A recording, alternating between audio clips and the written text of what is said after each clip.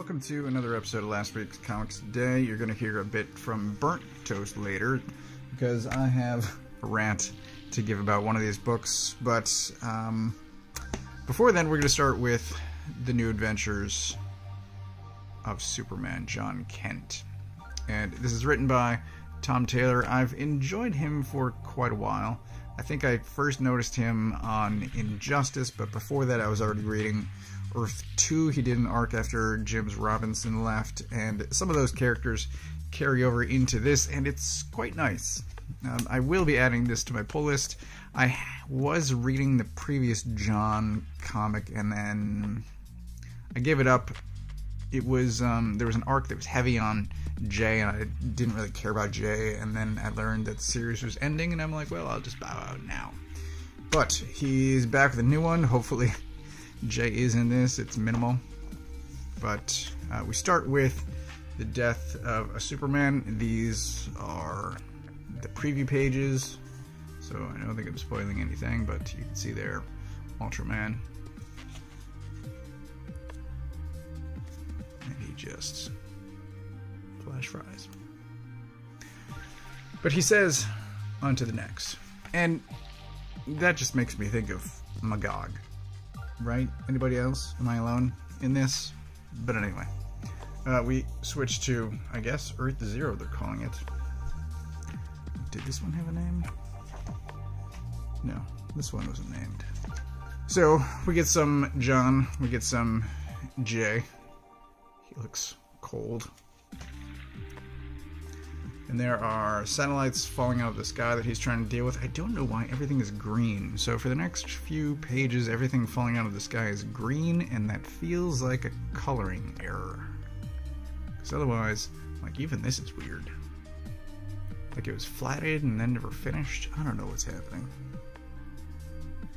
But something's happening. He's, um, you know, you can see there from his text box, you can see from the cover, he's got a different suit than what he is currently sporting. He's talking a lot to Oracle, which I think is nice, making use of her. I think, as much as I enjoy Batgirl, I think Oracle is more useful as um, a character, as a behind the scenes. Oh, she's got a dog. I didn't notice it the first time. Uh, I think Oracle is incredibly powerful as a character, and I don't think she's been used to the extent that she should be in the modern era. So Jon is taking out satellites before they can hit the ground, and then Val-Zod shows up. And I really liked Val-Zod as part of the Earth 2 back in the early days of New 52. And he's not alone.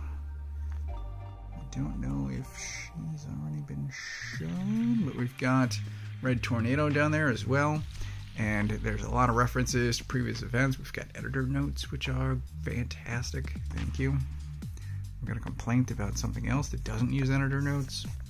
And um, it's the start of a great story. I'm intrigued. Like I said, I'll be adding this to my pull list, and I want to see where this goes.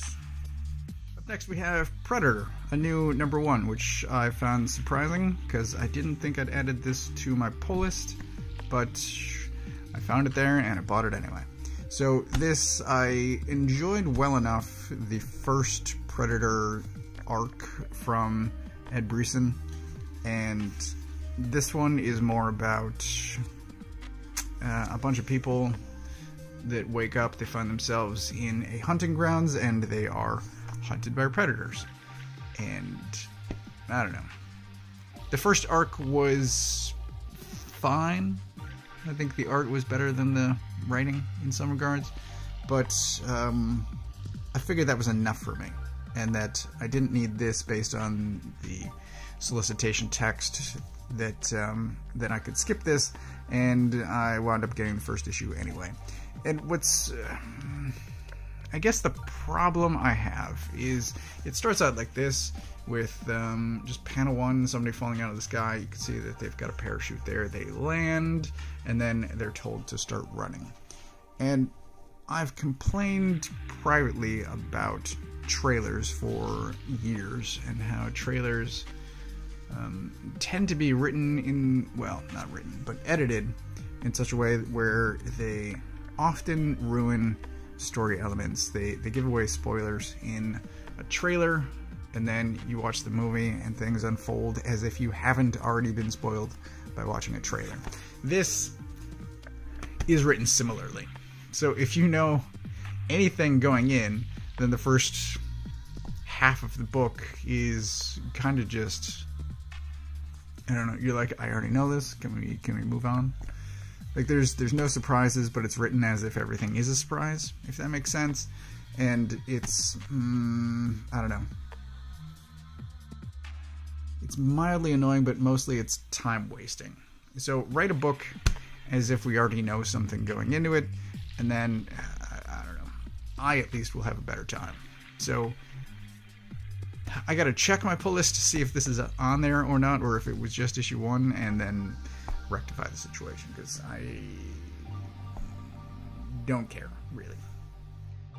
Then we have Poison Ivy issue 10. I do find it funny that there is so there's a shop basically on this cover. You can see a security cam there and a mirror, and there's a 6.99 price tag right above the actual price.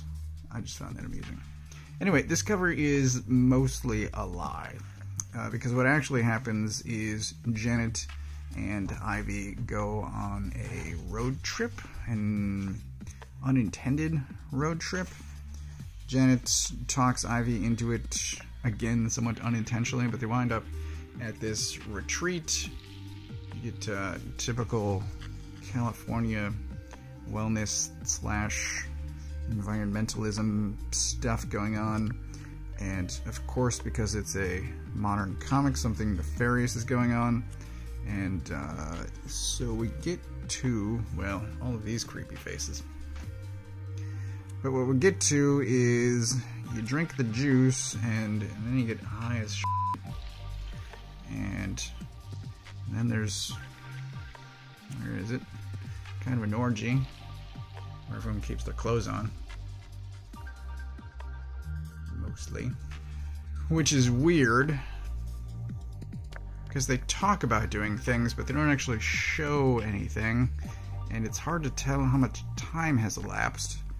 But uh, she's talking here about wild mushrooms being in the green juice. And I don't know what's happening here either, because uh, again, it seems like more time has elapsed than what they showed. And uh, then we get to Ivy's involvement, and we get all of these growths. And I guess overall, the initial arc, when it was a six issue series, was tightly written. And since then, it's mm, meandering a bit. So,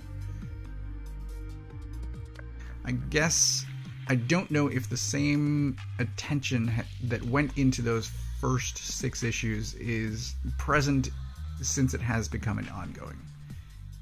It feels, I don't know, it doesn't feel the same. It doesn't feel as well written. The art is still nice as long as Takara is the one um, doing it, but I don't know. I don't know about the story.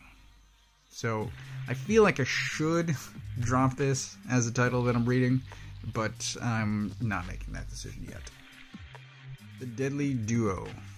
And this cover is not a lie. This actually happens, and it's very strange at the time.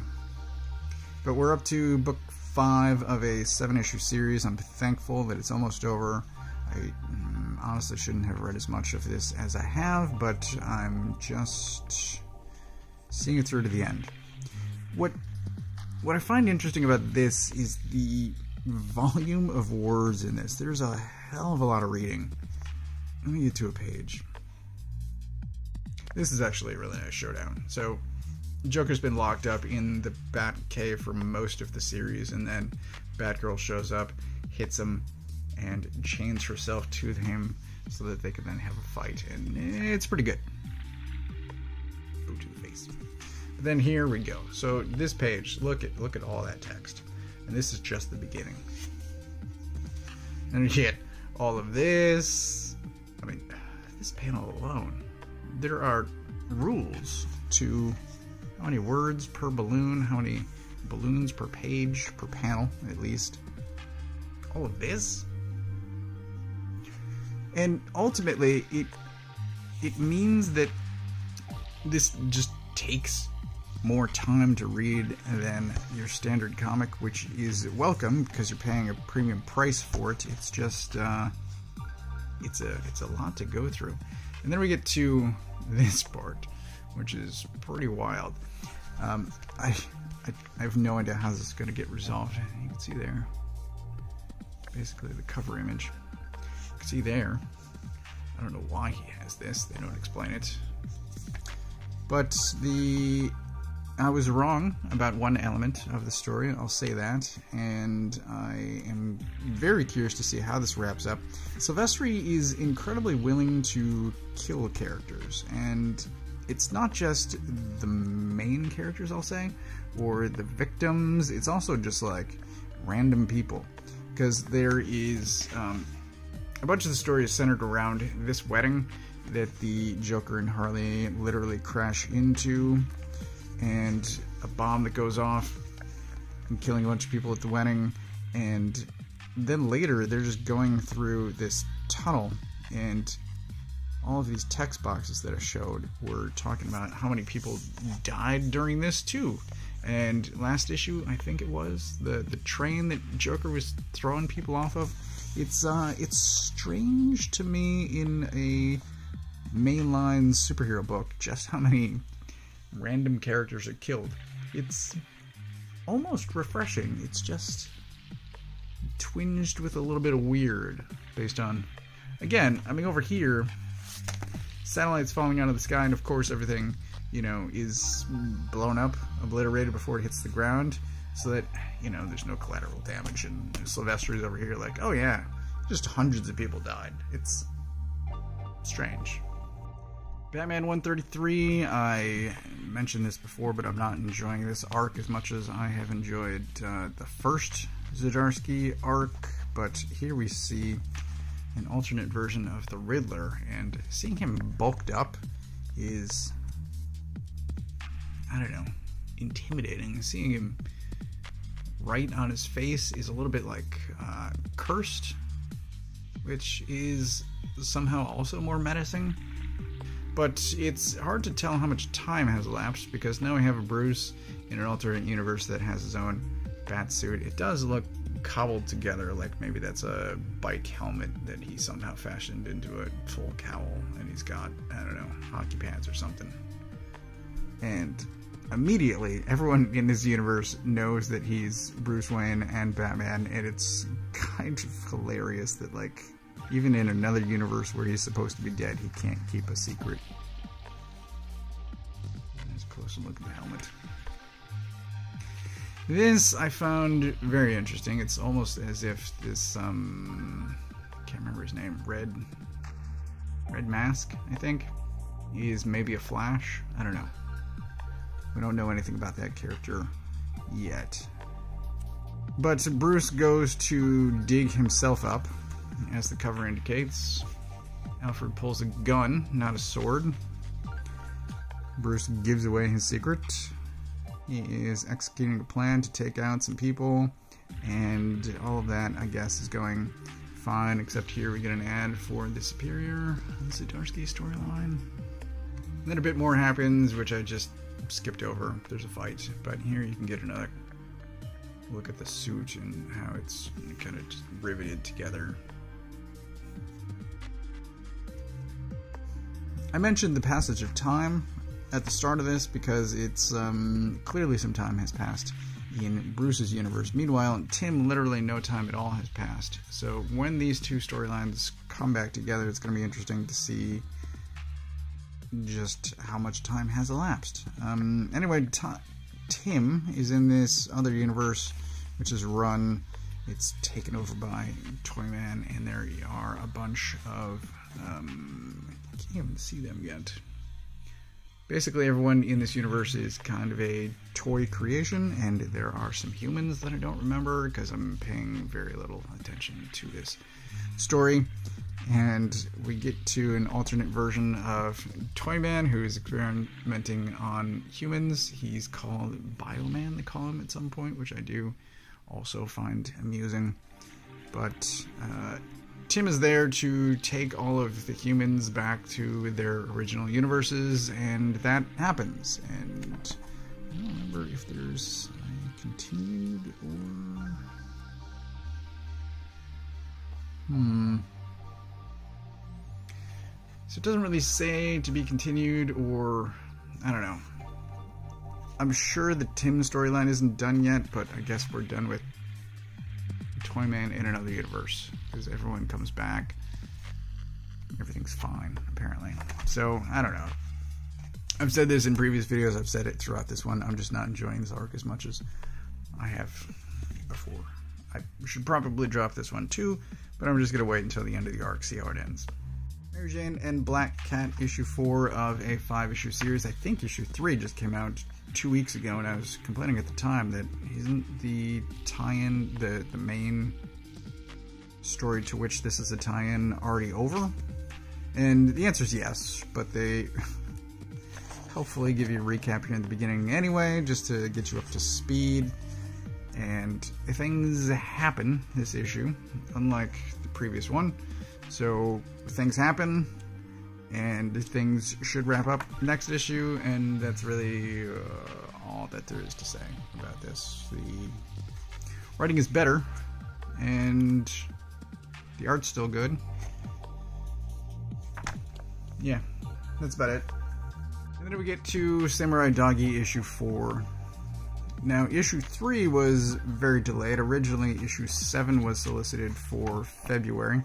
Now, it's March, and we're only on issue 4, so there was clearly a delay between issues 2 and 3. When issue 1. Uh, uh, issue 1 was a fantastic first issue for a new series. Issue 2 was weird because instead of the main character from issue 1, we switched over to this character, a brand new character, and the two stories synced up by the end of issue 2. The two characters were in the same place at the same time, then issue 3 was a massive fight that didn't move the story forward at all. We're now on issue 4. The story does move forward, but in an incredibly frustrating way. So, after this massive fight that happened, we then basically get a day at the carnival for half of an issue. We get this weird segment here, which I think is my one art complaint, is I don't I know from context, especially on the next page, what's happening, but just visually, I have no idea what this is showing. And then the complaint. Art's still great. The complaint is not the art. What happens, and you can skip to the next chapter if you don't want to be spoiled, but what happens is after an incredibly long wait, this guy is bringing the main character home, and then he gets stepped on. He's literally just a bloodstain on the ground now. So, after dedicating an entire issue to this character, and then a fight that didn't really do anything for either of the main characters, and a wait of at least three extra months, he's just dead now. And I'm still waiting for the story to move forward which it finally does at the end of this. But oh my god, I just feel like my time has been absolutely wasted. What the f- So the robots that the fight was about with um, come back for their revenge. They killed a kid needlessly. And then uh, there's a much shorter fight. He's told to put on headphones, which I feel like is incredibly stupid. If you're gonna fight, why would you hinder your senses? just so dumb. And I finished reading this in bed. This is what I chose to read one night, and I got to the end of it, and I was just so frustrated. I was complaining to my wife, and I explained the whole thing to her. And at the end of it, I said, I don't blame the writer. I don't blame the artist. The artist is doing all around great job. The writer is trying to tell their story. Who I blame is the editor for not fixing this before it ever got printed, right? Fixing this at an earlier stage. And I flipped to the beginning to see who was editing it, and it's Mike Marts who used to edit Batman. Like, the guy should know better how to construct a series where the audience is incredibly frustrated and just annoyed and disappointed and angry, really. Like, what an absolute waste of time this has been. I need to drop this immediately. I will check out whatever, um, especially the, the artist does next. I will check out the writer if they improve down the line, but my god, what an absolute waste. Lastly, uh, this actually came out in November. I missed it at the time, and I grabbed it from the shop this week. But it is The Return of Effie Kolb, and I started reading this using another non-traditional bookmark here. But um, already this is very relevant. There's a lot of references to the Crooked Man, who is um, the focus, the basis for an upcoming Hellboy reboot movie. So, where this could benefit are text boxes, since there are multiple references, as I just said, to previous stories, specifically thus far The Crooked Man, but there are no text boxes to be seen. No additional help from Dark Horse regarding previous stories. But uh, this is a collection of various shorts. I think I have read two of these already, including Long Night and Seven Wives, that were one shots.